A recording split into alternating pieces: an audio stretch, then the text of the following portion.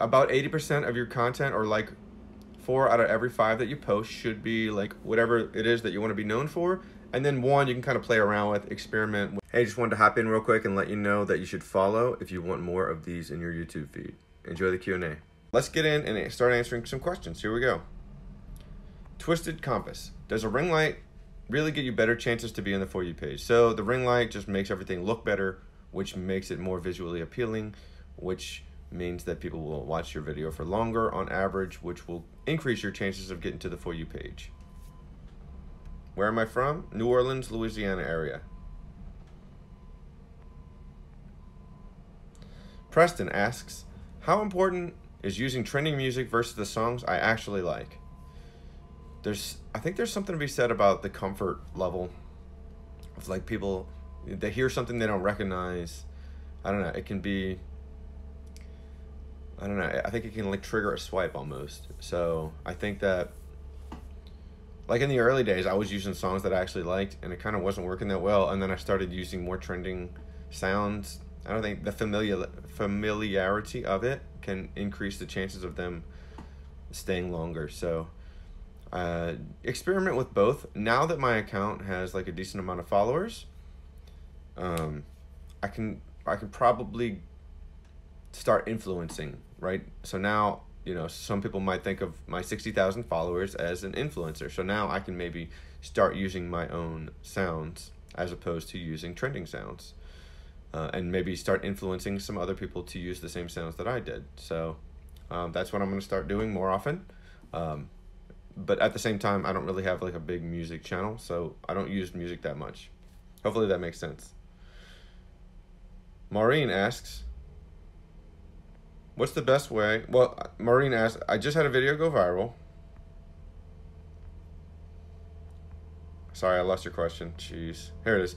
I just had a random video go viral. What's the best way to use that momentum for more traffic? So if you have a video that went viral, you got to think about what people are going to be doing. So a lot of people are going to be looking at your bio, not not your bio, but your profile to see, okay, do I do I like any of their other videos?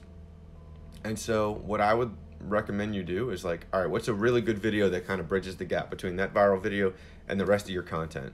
So when they see it, they're more likely to follow and be like, okay, this isn't just like a one trick pony. They actually have some other good stuff too. So what it, what is that piece of content you can create that can really just bridge that gap? For me, with that 17 million view video that I mentioned, I made another video. It's like, all right, here are the five reasons this video got this many million views.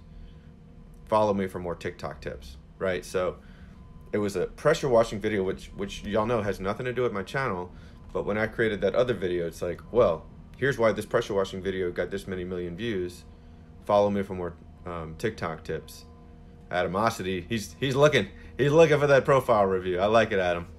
So um, so yeah, that's how you bridge the gap. That's how I bridge the gap. I would recommend you try to find. I mean, you got to be creative. Um, try to bridge that gap. Just remember, people are going to be looking at your at your other content, your most recent content, trying to trying to decide whether or not they want to follow you. Of course, some people are going to be following from the uh, from the viral TikTok, but people who are on the fence, you want to help convince them.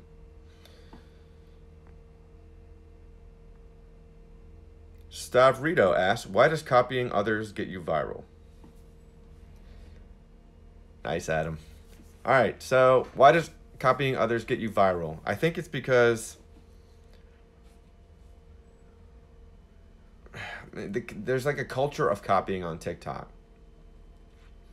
I think uh, you should be crediting people when you copy them. But the question is, why does it get you viral? Well, you're taking a proven format, a proven formula, and you're just kind of recreating it. And I think a big part of TikTok is like hoping that you're the first person that that person on the, on the for you page sees. So like if they see your content first before other people, just maybe due to sheer luck, they'll think you're the one who created it. And so like you're taking a proven formula and you're just kind of recreating it and that works. All right, so if you want a profile review for all of those of you who are just showing up, we're doing uh, the biggest gifter. Whoever gives the most gifts during this um, during this live will get a profile review. So it's one of the ones that actually goes on my um, on my page. So uh, my 60,000 followers, at least a couple thousand people will see it. Mm, hopefully a lot more. So um, we've had, you know, we've had them definitely get over 10,000 before. Um, but the sky's the limit and they're not available for purchase. So it's a, it's actually a special thing. So. All right, it's Chrissy says, does privating videos hurt your profile, the algorithm? It could. Nobody really knows for sure. Um, but just in case, I recommend privating before deleting. Uh, I, would, I would imagine that privating is better than deleting because it's just, you know, from, from TikTok's point of view, anything that, that gets deleted was just kind of like a strain on their resources for no reason. Um, you know, you're, you're kind of, you're kind of using their, their servers and, um, for nothing really. And, and then it just goes away. So it's like, what was the point of all that? If you're just going to delete your videos, but in privating, at least you're keeping it live. At least there's a chance it can go live again. So I would think that's better.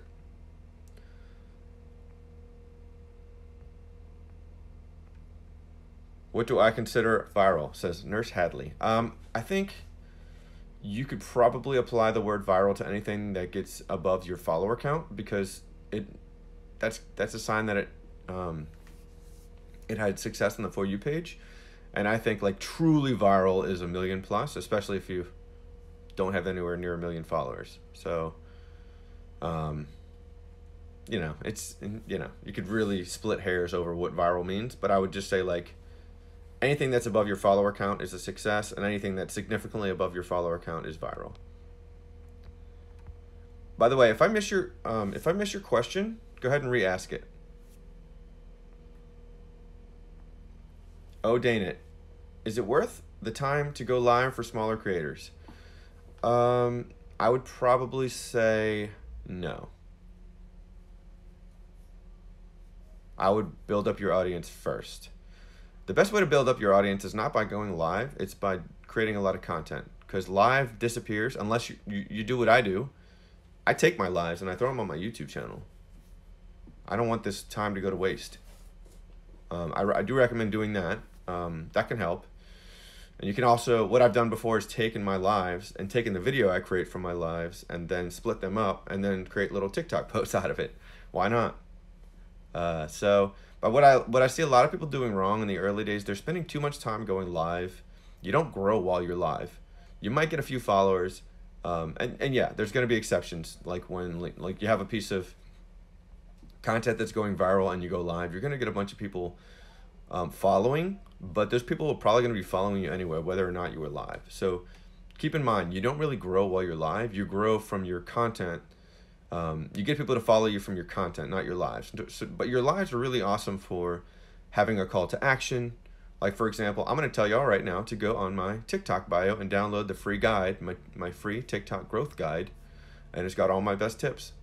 There's an example of a call to action that, that you can use, um, you know, for you for you guys, it might be like DM me for for this. Um, you know, check out my website, whatever it is. So whatever your call to action is, um, to your existing followers, your live is the best way to do that. But don't think that going live is going to necessarily grow your account. Um, there's going to be exceptions to that, but for the most part, people are just like it's just a great way to connect with your existing audience, not necessarily grow a new one. Hopefully that makes sense. Alex asks, is there a certain time to post that increase your FYP chances? Yeah, whenever your uh, target audience is most likely to be online. That's the best way to put it. Everybody's got a different target audience. Right now, it's kind of crazy with quarantine and everything, but on your typical day, like, you got to think about, like, okay, well, are you going after the kids who are in school? Well, obviously, if you post when they're most likely to be in school, you know, not really going to work that well. Rebecca asks, I'm doing one video per day. Is, is that enough? Should I do more? Uh, yes, assuming you can do high quality. So as many as you can do as long as your quality is high. But at the same time, you don't want to get burnt out. If you're starting to get burnt out, it might be time to back off a little bit. I personally really like doing TikToks, um, especially now that my account is bigger. You know, a lot of people say, I don't need views to have fun on TikTok. Let me tell you, when you're getting a lot of views and a lot of engagement, TikTok is way more fun. I'm serious. It's like, it's literally night and day. Like, because I remember when my account was small, you know, you might get one comment a day. It's like, eh. but now it's like every time I check, there's like new comments pretty much, um, and it's just a lot more going on. It's it's intense. It's fun. Um, so yeah, I think it's worth it to grow your TikTok. It's just it's just more fun when your account is bigger. Um, and you'll notice a difference from the time you go to like 100 followers to like a 1000 followers you'll see a difference and then like 1000 to like a couple thousand you'll see a difference and um, yeah so by the way um, for those of you who just showed up biggest gifter gets a tiktok review hey we got a concert let's go john day he's getting his he's throwing his hat into the mix i like it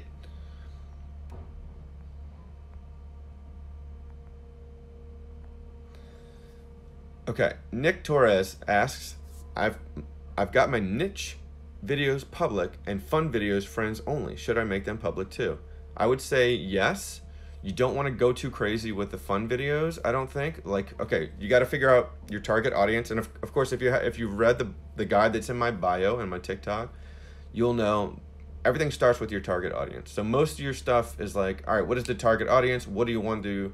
what do you want to do for them? What do you want to entertain them with? What do you want to help them with? Most of your content should be toward that. And you know, maybe one out of every four or five could be like something fun that's more personal, like whatever you're into. Like today, for example, I did a little Star Wars little duet of, of just because today's May the 4th or whatever. Um, I did, you know, my old Star Wars duet and I did a new little Star Wars thing just for fun, right? Because who cares? Um, I don't want to be such a robotic type of account. Like I do, I am a real person, and I like to have fun and just do whatever I'm thinking about at the time. So I said, hey, let me let me have some fun and see what happens. So uh, I think that's okay. But if you go overboard with it and people get tired of seeing stuff that's not what they followed you for, that could be a sign of uh, that could be something that triggers them to unfollow. Actually. John Day asks, should you delete inactive users? Um, uh, you could. You could delete some of them, especially if they're really obviously like a fake or bot account. I think it would be okay to delete them. Um,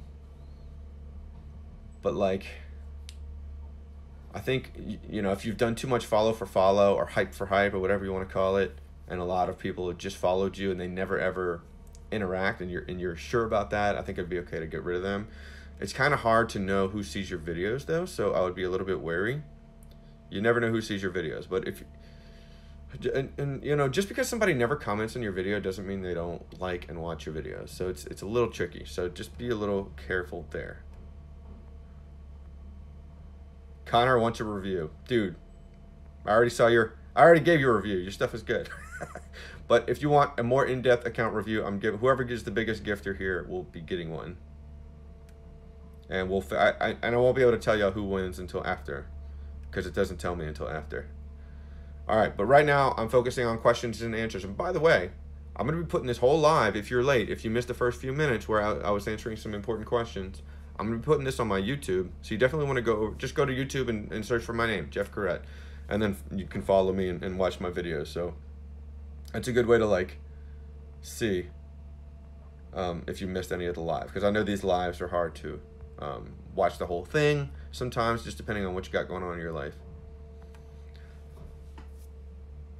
Twisted asks, how many posts a day is too much? Well, um, whenever your quality starts dipping, like I've heard of people do 20 posts in a day, and as long as they're all high quality, it can be a really good thing for your account.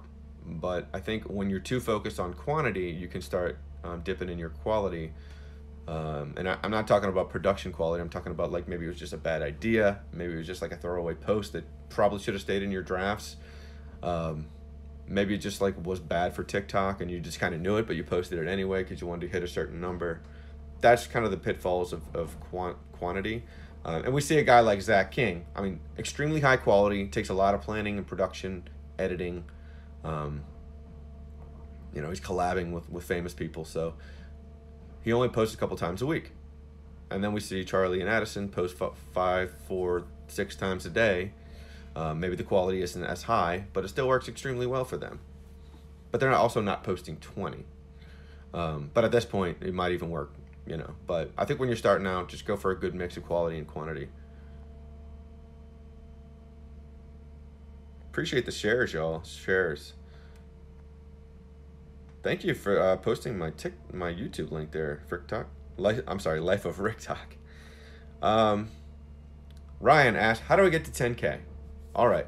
Uh, I would start by downloading the guide that's in my bio. It's got um, just kind of like a three a three basic step of like figuring out what your target audience is, what kind of content you should be creating, and then like more tactical tips in terms of like how many posts per day, how long to make your posts and stuff like that. I would I would definitely start there. What a lot of people do wrong in the early days is they're making content that's way too long. People don't have the attention span to wait even 15 seconds like if it's not a really engaging video people aren't going to stick around for even 15 seconds so every single second matters i think a lot of people are um, making mistakes with that so um, so that's an issue. I think a lot of people are trying to kind of copy like Charlie and Addison, and they're not bringing their own. Like it's gonna be really hard to to beat Charlie and Addison. So I, I think that people should niche even more, like combine what Charlie and Addison are doing with cosplay, or combine it with music, or like just co- combine different existing niches, um, and just kind of become the player in that space. Be the be the person who's known for Charlie style dances in costume, right? Just to give you a, a quick example. And that's just a way you could potentially stand out. Um, you know, there's a lot of people um, doing comedy, but there's not so many people doing comedy about, you know, let's just say Snapchat comedy or something like that. You know, like um, business owner comedy could be could be maybe a niche. And there's a guy you've probably seen him. I forgot his name, but he's he impersonates Gary Vee business comedy, business impersonations. Gary Vee impersonations is a good combo. He's not just impersonating random people, he's impersonating one person, um, and he does it really well. It's pretty funny. But I forgot his name. I'm sure some of y'all know who I'm talking about. All right. This question comes up all the time. All the time. How do I know if I am shadow banned?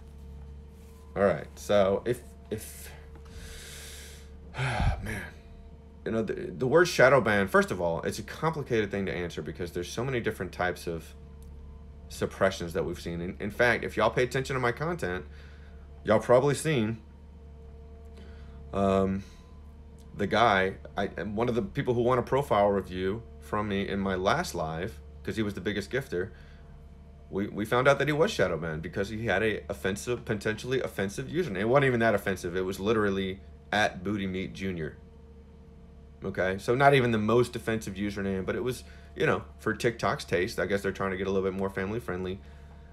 Everything was like he was untaggable.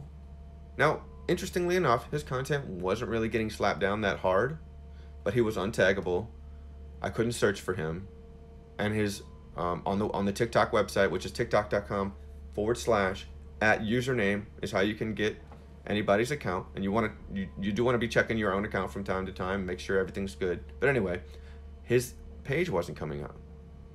And immediately after he changed his username um, everything went back to normal. So that's a type of potential shadow ban. So that's more of like a username shadow ban. And then we've got like per content shadow bans which is like just like suppression which i've dealt with. And it was never my entire account. It was just like ind- individual pieces of content for example, if I had a negative trigger word in my description, for, add to block, okay, okay. We got some people getting their hats in the mix for that profile review. I like it.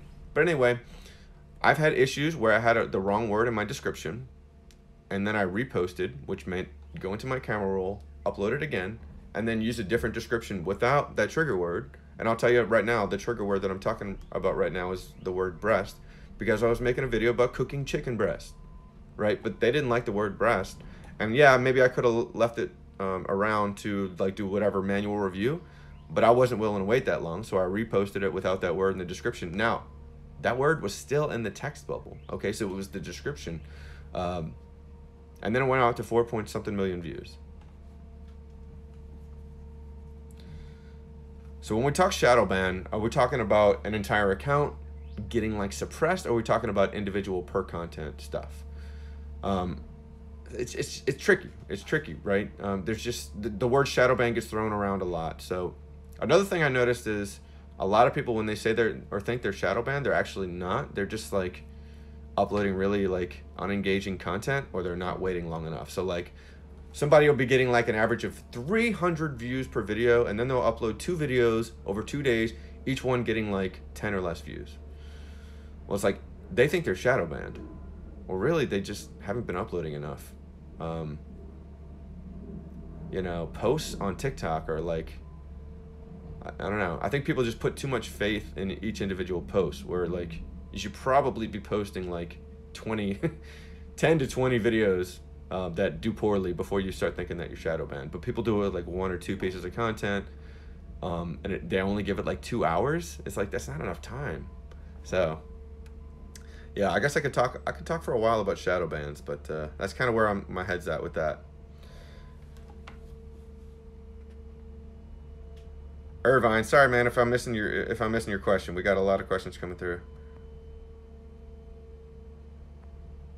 All right, Carlos asks, shorts, reels, lasso. What are your thoughts? So I think we're talking about YouTube shorts, reels. I don't even know what those are, and lasso. So I, yeah, I don't really know, man. I know YouTube shorts is coming, and that's supposed to be a TikTok competitor. Could be interesting with the music licensing.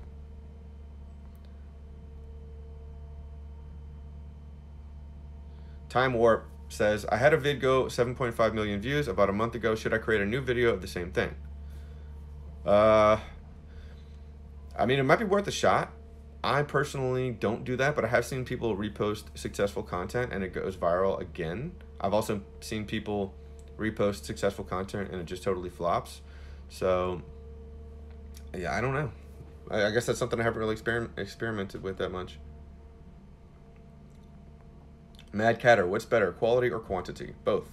Find a good mix of both. I'll tell you this: very few people on TikTok are doing such high quality that they can't do multiple posts per day. I really feel that way. Zach King. I've never seen anybody on the quality level of Zach King. Okay, and he's posting a couple times a week. So if you're posting less than Zach King, um, and yeah, I get it. You know, people have full time jobs and stuff like that, but still, pe- most people should be able to post more than a couple times per week.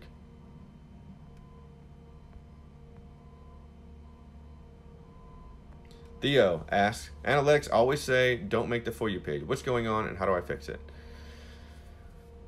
So just because analytics say you're not going to the for you page, there, there still could be a few um, a few instances of it going to the for you page that maybe just didn't didn't warrant even a one percent in in your little um, graph there on your for uh, on your pro mode analytics.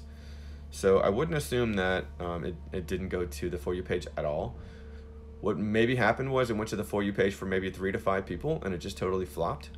And then they just didn't bother anymore. So maybe it did it did well with your followers, but not necessarily the For You page. So I, one thing I would also look at is um, like if you did the hype for hype, follow for follow type stuff, and you got a lot of people following you, but they don't actually like your content.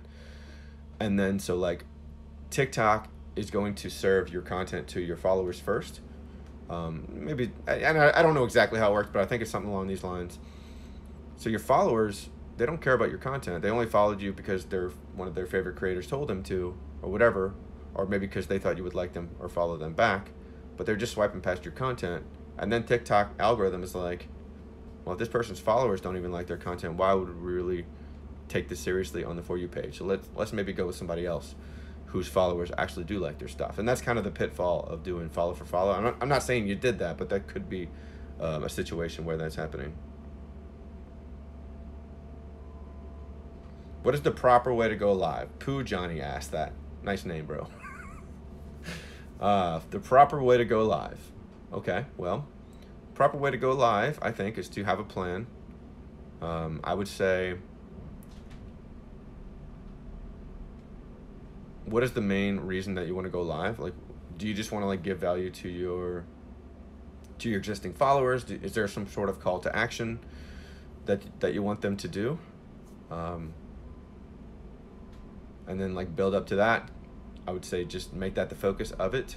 But uh, you know, bring them in with some value, give them value, and of course, I have an education channel. So, like, if you have a dance channel, maybe you're dancing for them. Uh, maybe they get to pick the song you dance to for like the biggest gifts or whatever. Um, yeah, just kind of like I would say have a call to action or something. Give them a lot of value, and then finish by asking the call to action. Like to call the call to action to this one is okay. The biggest gifter here is going to get a profile review, which is actually very special because it's not even something that I sell outside of my paid three month consulting engagements. So um, I think that's pretty cool for people to be able to get that. So that's kind of my call to action, and uh, you you need to find what works for you, but think about your lives as a way to connect, engage, and um, really monetize your TikTok account. It's the easiest way to monetize your TikTok account. Core Core Bendover says, these usernames, y'all, come on. I post edgy, hey, John Day, what's up? I post edgy, offensive content. How do I find my audience without getting banned? Okay. Uh, so, first of all, TikTok might not be the place for you, depending on the level of your edginess and offensiveness.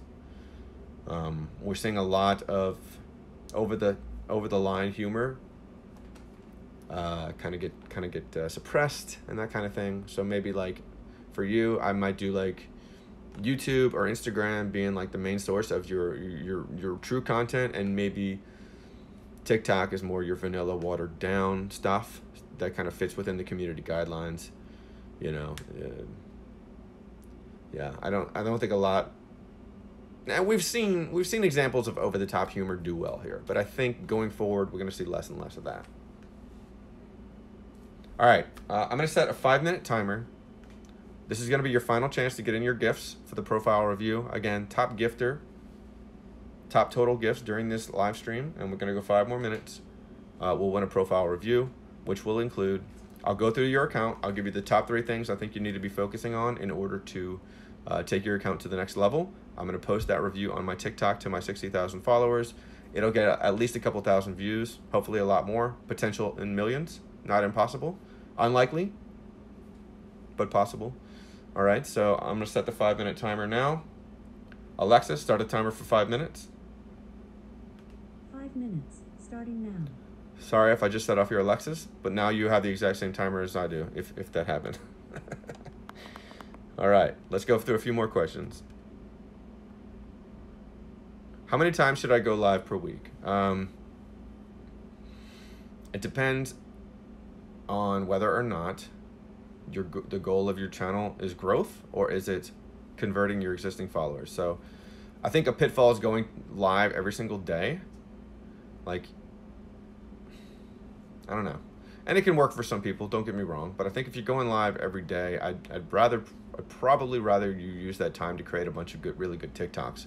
Because you got to remember, those lives, as soon as you end them, they're gone forever. Unless you're doing what I'm doing and recording them, which I haven't really seen anybody else doing on TikTok, to be honest with you.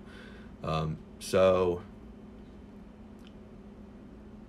and when you make a good TikTok, that's that's going to be up whether you're sleeping, whether you're working, whether you're playing video games, whatever. That's like a way that those TikToks, especially if you have a call to action, you have a really good hook, it's engaging, you have the call to action at the end. That's going to be growing your account while you sleep, while you play video games, while you're hanging out with your friends and family. Um, so that's going to grow your account a lot faster than going live. So I'd much rather, for long-term growth and short-term growth, I'd rather I'd rather y'all be creating good content instead of going live so much. I think people just they try to monetize too early. You're not going to be making much, if any, money, like if you only have a couple thousand followers. So I'd rather you focus on growth until you can really make some money from your lives.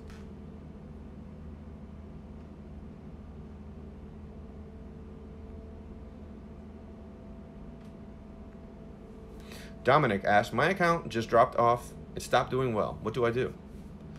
Okay, so first thing I would look at is like how many times have you posted um, a lot of people ask me that question and they've only done like a couple posts that have not performed well. Well, I would say like post 20 posts, 10 to 20, and before you really decide things are like you might have just posted two crappy videos. They might have just sucked. Sorry if that sounds mean, but maybe that's true. Um, so just keep posting and see like, okay, well, was it just bad videos or because a lot of people just jump the gun with that question. So that's that's kind of uh, that's kind of how I'm gonna leave that one. All right, we got two minutes and 30 seconds. Final chance to get your gifts in for the profile review. All right. My one, the teddy bear says,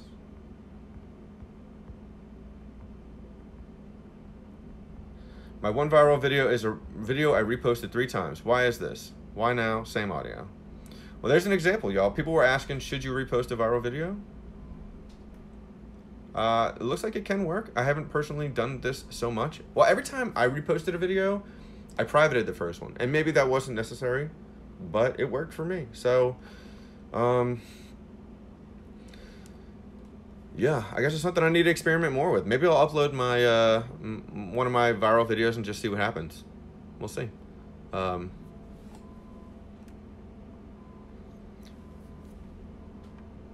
Jenny asks, when you go live, can you control minors from coming in? I think that you can. Uh, I don't think you can. Yeah, minors are going to come in. So, uh, first question is, why are you worried about that? What are you doing on your live that you don't want minors in there?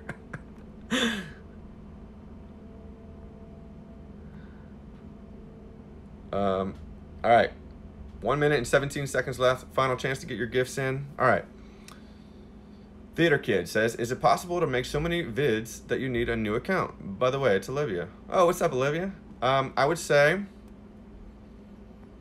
I would say no. Just keep all your videos on the same account. Um, about 80% of your content, or like four out of every five that you post, should be like whatever it is that you want to be known for. And then one you can kind of play around with, experiment with, maybe one out of every four, one out of every five you can experiment with. All right, 45 seconds left. Last chance to get your gifts in. 45 seconds. What program do I use to record live? Well, if you're on an iPhone, it's very simple. You just record your screen and you turn your mic on. So it's picking up my voice through the through the um through the microphone and it's just recording my screen. And then I'm gonna go into some video editing software and make it more YouTube friendly. And I'm gonna put this up on my YouTube, which is just Jeff Couret on YouTube. So y'all should follow me there. 20 seconds. Last chance to get your gifts in. Let's go. How many times should I post a day? Um, at least one, unless your quality is so high that you can't do it. 10, 9, 8, 7, 6, 5, 4, 3, 2, 1. Oh, look at Cam throwing in the concert. All right, y'all. I'm going to let, I'm going to check and see who won. So I'm going to end this stream right now. Alexa, turn off. All right, so if you are, um, if you're the winner, I'm going to DM you and let you know look for this on YouTube if you missed the first couple minutes or whatever. So y'all go out there. I want to see some awesome content from y'all. Tag me in your comments if you want me to look at your video. I can't necessarily give my thoughts, but I promise if you comment me in the description of your video, I will most definitely watch it. I may not be able to give feedback for everyone, but I will look at your uh, video. So y'all go out there, have a great day, and I'll talk to y'all soon. Hope you enjoyed my live TikTok growth Q&A.